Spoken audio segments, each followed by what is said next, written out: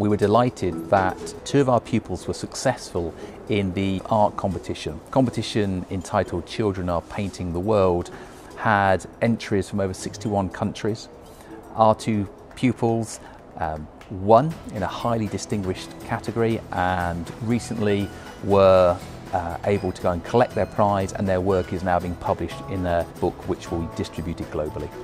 We would like to celebrate and praise the success of the children. They've achieved immense, great achievements and they are very much an important part of our community.